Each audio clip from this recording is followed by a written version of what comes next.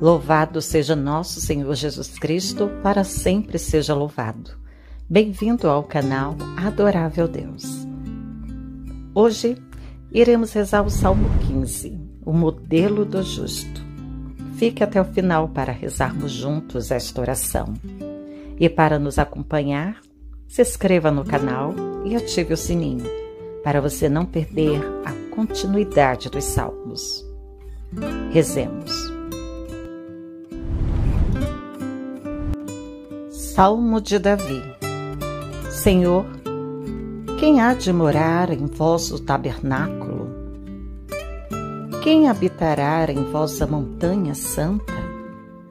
O que vive na inocência e pratica a justiça, o que pensa o que é reto no seu coração, cuja língua não calunia, o que não faz mal a seu próximo, e não ultraja seu semelhante.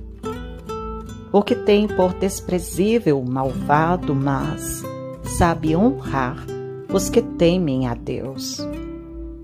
O que não retrata juramento mesmo com dano seu. Não empresta dinheiro com usura, nem recebe presente para condenar o inocente. Aquele que assim proceder jamais será abalado. Amém. Senhor meu Deus, fazei-me ser uma pessoa justa.